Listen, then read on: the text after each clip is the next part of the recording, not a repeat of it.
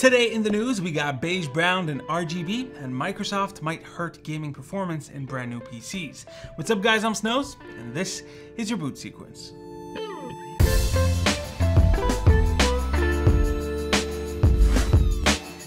Before that, let me take a second to thank today's video sponsor, Whokeys. Whokeys is where you can buy keys like this one for Windows 10 Pro. Get yourself a license with that link down in the description and click buy now and enter the code BTS25 for 25% off. And then you just submit your order. And once you're through with your payment and you receive your key, go to your computer, click on the Windows button, type in activate and update or change your product key. It's that simple. Let's get started with Noctua. A couple of weeks ago, we heard through the uh, grapevines that the company might be entering the GPU market with the help of a collaboration with ASUS. Well, it looks like it wasn't just a rumor. Yesterday, pictures of the GPU itself surfaced online, and uh, brace yourself because here it is. So, what do you guys think? I mean, clearly, if you look at the dimensions of the hub on the cooler, you can tell that these are just uh, Noctua's NF-A12X25 tacked directly onto a GPU cooler. But it is likely that Noctua also played a part in designing that GPU cooler's heatsink. This model is specifically an RTX 3070 8 gig. As is, it only has a TDP of 220 watts, but for some reason, they thought that it would be ideal to make it the thickest boy in the West.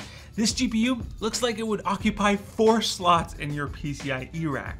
Four freaking slots. Now, what if you wanted to buy one? Well, you'll have to wait, maybe even indefinitely, at least if you live in the Americas or in Europe, because apparently it's going to be specific to the Asian Pacific and China regions. So yeah, what do you guys think of the design? Is it iconically Noctua or is it an Asus gamer misstep? Let me know down below.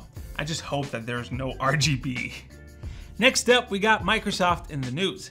Now, we all know how hard it is to build your own PCs these days. I mean, it's not hard on a technical level, it's just adult-sized Legos, but finding the parts that you want is still extremely difficult even if you have the money to buy them at their uh, inflated retail prices. So a lot of us are instead turning to pre-built systems. And I know I had to recommend a few to families and friends. It's a little bit pricey in some cases, and uh, in others, the components that you receive are the absolute bare minimum, but it has what you need to get started. So how does Microsoft fit into all this?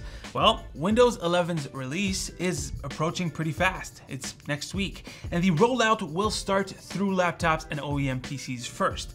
Unfortunately, Microsoft plans on enabling a feature called VBS by default on all OEM PCs.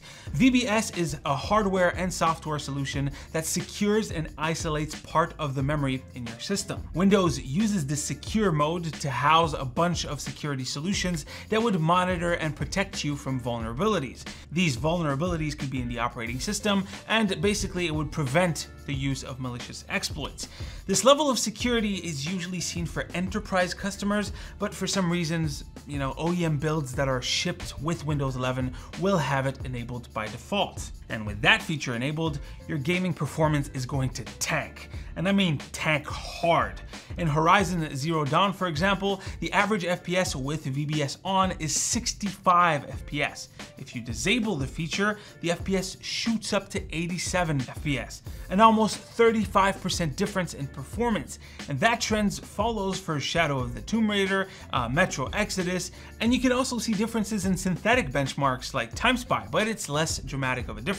It's still huge though. We're just not talking 40%, we're talking more like 10. I mean, I do understand that Microsoft wants everyone to be as secure as possible, but damn. You know, some of these people who buy OEM uh, PCs will never turn that feature off, and they'll end up with just bad performance for no reasons. Next up, we got some AMD news, and unfortunately, it's not great. If you were waiting for their beastly Threadripper lineup to come out this year, looks like you're out of luck. While Chagall, that's the codename for the next generation Threadripper, well, while Chagall was rumored to launch in November of this year, now it seems to have been delayed again, at least according to Twitter leaker extraordinaire Greymon55. Personally, it doesn't surprise me. AMD also has their Zen 3 Plus chips to show off, and it seems like the uh, market and the investors are more interested in how the 3D V-Cache performs than how Zen 3 Threadripper does. But I'm still gonna ask you the question. How many of you guys are interested in Threadripper's next generation? Let me know what you think down below. Then we got the free game check. This week, we got Europa Universalis 4 over on the Epic Store. Mike from Hardware Canucks says that this is a great game. I just don't know yet because I haven't tried it out. I just found out about it. And if you have an Amazon Prime membership, oh boy will you be happy. The free games list for the spooky season includes all of these games, including Star Wars Squadrons and Ghost Runner. They're all available to download and keep forever without additional costs, so go check them out. In any case, guys, that is pretty much it for the catch up. Hopefully you've enjoyed. Drop a like if you liked it, a comment if you want to talk about today's stories. As usual, you can click right here to see the latest video, right here to subscribe to the channel. Stay frosty, my dudes, and I'll see you on the next one. Take care. This year,